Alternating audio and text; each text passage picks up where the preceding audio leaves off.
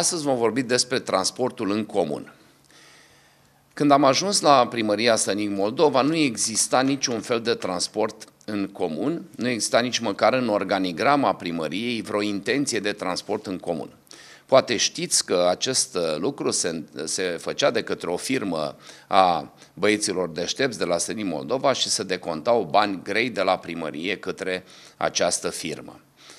Am oprit uh, această uh, modalitate și uh, de scurgere de bani publici și s-a înființat în 2018 un compartiment de transport în comun în organigrama noastră.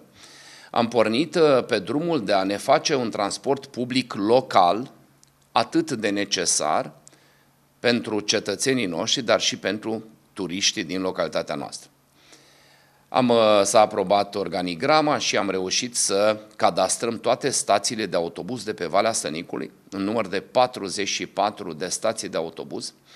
care vor funcționa pe un plan de transport public local. Aceste stații, o parte dintre ele sunt deja amenajate, dar cele mai multe le vom amenaja pe proiect și vom a achiziționa pe un plan de mobilitate microbuze electrice, autobuze electrice, în așa fel încât să putem flexibiliza transportul și să putem oferi cetățenilor noștri, în primul rând, un transport de calitate, un transport mult mai, cu o frecvență mult mai bună și intenționăm să-l oferim gratuit, măcar persoanelor Uh, vârstnice, pensionarilor, dar și persoanelor cu dizabilități. În uh, acest sens, planul de mobilitate este avansat și uh, am reușit să amenajăm, după cum vă spuneam mai înainte, câteva stații de autobuz, am reușit să amenajăm trotuarele aferente, riverane stațiilor de autobuz și acest program continuă. Am reușit să Uh, punem pavele de la pârtia de schi până sus la primărie, existau porțiuni importante în dreptul pieții și mai sus și mai jos, care nu aveau pur și simplu uh, uh, pe, pe trotuare exista niște pietriși. Acolo a fost un proiect de canalizare și nu au avut grijă vechii conducători ai primăriei să pună măcar un trotuar pentru ca turistul să aibă și cetățeanul nostru să aibă pe unde circula. La acest moment el este, trotuarul acesta este făcut. Este adevărat că este făcut provizoriu pentru că planul nostru este să modernizăm, să avem și piste de biciclete și uh, trotuare moderne pentru cetățeni și pentru turiști. Am îmbunătățit, am reparat uh, în 2019, când ne-am deblocat contul, am reparat, uh, am plombat câteva zone din stațiune, dar acum, uh, anul acesta, în luna august, vom avea câteva puncte unde vom aduce covor asfaltic și pe partea de infrastructură pietonală am îmbunătățit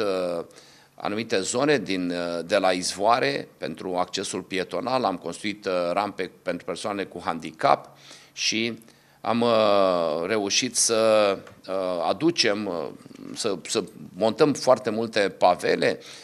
atât am oferit cetățenilor, locuitorilor de la blocuri, pavele și sort și dumnealor au pus manopera și și-au amenajat intrările. Avem de asemenea pe partea de infrastructură Uh,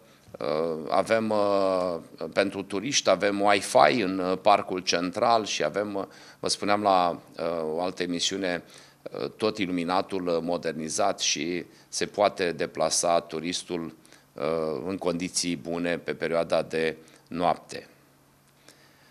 Sperăm ca foarte curând proiectul de mobilitate și programul de achiziții de autobuze și microbuze electrice să fie implementat.